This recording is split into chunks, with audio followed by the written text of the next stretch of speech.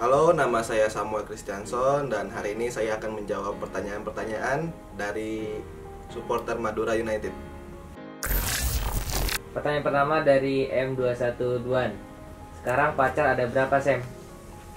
Untuk pacar sekarang ada satu aja, nggak usah banyak-banyak. Satu rib- satu aja ribet gitu. Terus pertanyaan kedua dari Mir Ferdi. Ya. Mantannya ada berapa? Kalau mantan itu cuma ada empat, jarang pacaran aku. Pertanyaan ketiga dari Nabila Ai. Mana bacanya? Nabila Ayu. Nabila Ayu. Punya pacar nggak sekarang? Atau mau fokus karir dulu? Untuk sekarang punya dan lagi fokus karir juga ke bola. Terus pertanyaan dari orang yang sama, harapannya untuk sepak bola Indonesia dan Madura United gimana ke depannya?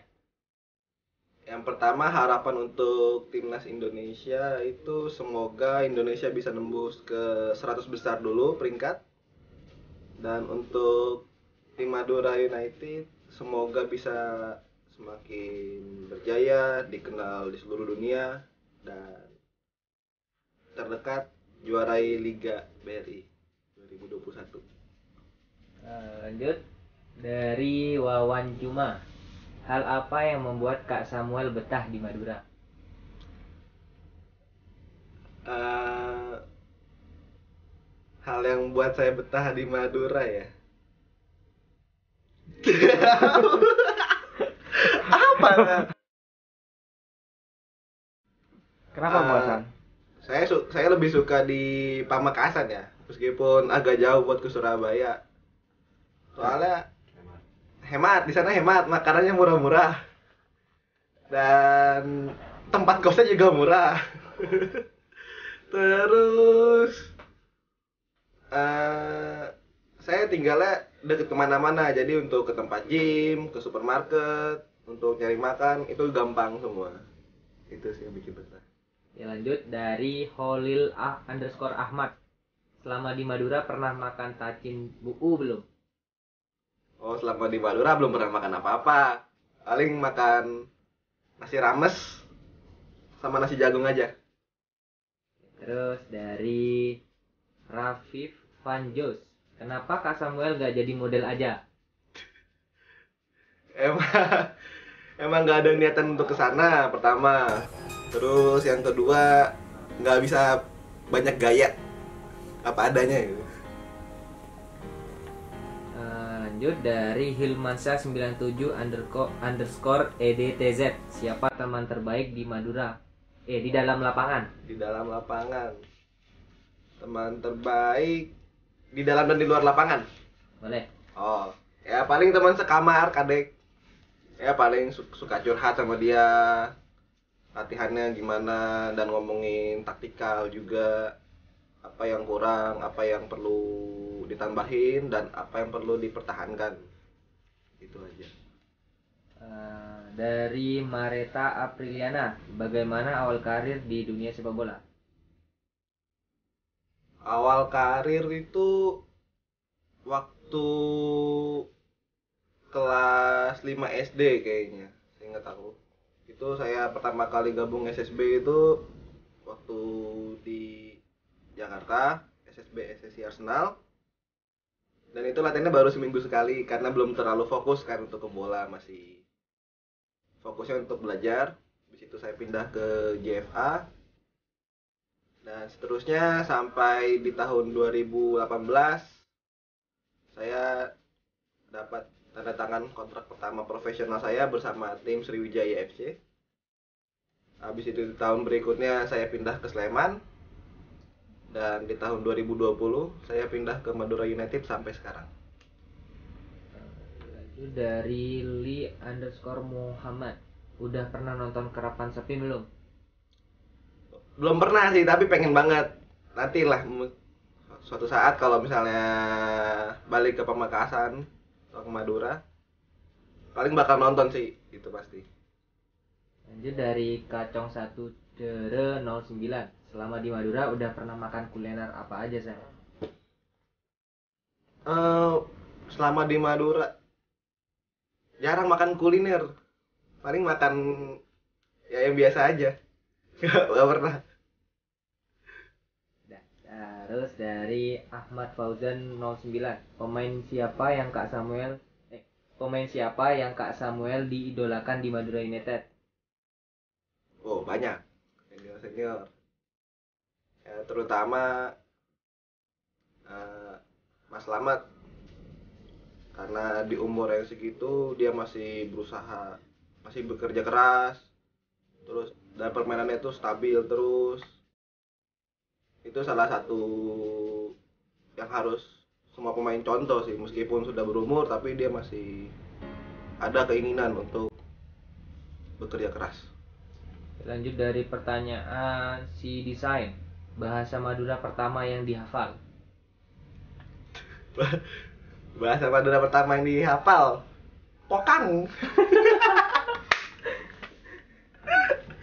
Sama motor sakalangkong. Terus lanjut dari Rifki. Titik Alifian titik 184 Dukung apa mas kalau klub luar negeri? untuk sekarang untuk sekarang Manchester United. Karena di situ ada Ronaldo. Dari Kazan. Sebagai wingback Samuel lebih jago pinpoint crossing atau early crossing? Kalau saya sih lebih suka early cross. Soalnya itu di mana posisi center back itu belum siap dan kemungkinan golnya itu lebih besar karena bola di antara kiper dan center back Terus dari Madura Enjoy Sudah pernah jatuh hati ke gadis Madura apa belum? Kalau sudah rasanya dan kesannya gimana? Kalau belum kira-kira ada minat gak? eh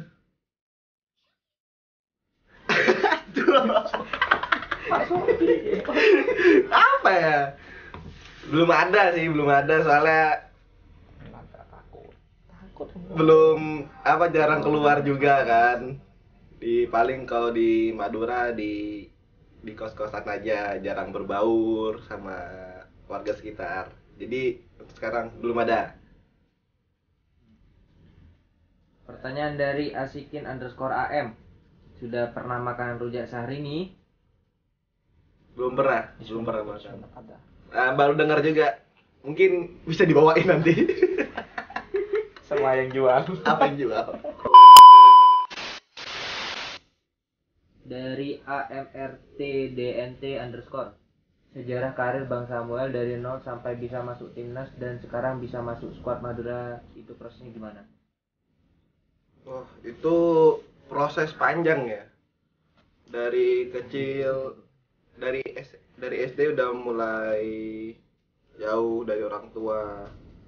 Dan sampai sekarang pun ma- masih sama jauh dari orang tua.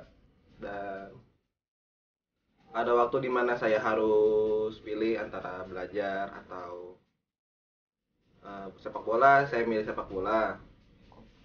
Itu salah satu yang saya korbanin. Begitu juga dengan waktu dengan teman-teman dan ya bersyukur sekarang bisa bisa mendapatkan cita-cita yang saya mau sampai sekarang. Dan semoga aja saya semakin terus berkembang di tim ini di tim Madura United. Itu aja. Terus dari underscore FC King DRS underscore. Mas Samuel milih Ronaldo apa Messi? Eh, ini susah pertanyaannya. Kalau untuk kerja keras saya lebih milih Ronaldo karena kayak yang semua orang tahu gimana dedikasi Ronaldo untuk sepak bola ini. Setiap setiap saat dia bekerja keras di dalam sepak bola. Begitu juga dengan Messi. Tapi Ronaldo tidak mempunyai talenta seperti Messi makanya dia harus bekerja keras. Jadi saya pilih Ronaldo. Terus pertanyaan terakhir dari Zian Rozi Kriteria buat calon istri tuh kayak gimana sih kak? calon calon istri mikir ke istri belum eh calon istri ya yang yang pasti sih pintar itu yang pertama supaya Hmm, terus yang kedua yang pertama pintar yang kedua bisa urus anak. Saya pun juga bisa urus anak. Yang ketiga bisa masak. Saya juga bisa masak. Eh apa ya? Berwibawa paling ya. Itu sih yang paling penting Lanjut, Terakhir lagi, terakhir lagi. Paling paling akhir. paling paling akhir dari akhir Pertanyaan paling akhir dari Raitandia underscore. Eh, rencana nikah kapan nggak? wah kalau ditanya rencana nggak tahu nikah sampai sampai sayanya siap sampai sayanya matang bukan karena umur kalau saya jadi belum tahu mungkin kalau besok udah matang pikirannya ekonomi besok mungkin bisa nikah juga Atau entah habis subuh. atau subuh nanti Terima kasih untuk teman-teman Madura United yang sudah menanyakan saya untuk mengenal lebih dalam lagi. Semoga selanjutnya ada pertanyaan lagi. Oke.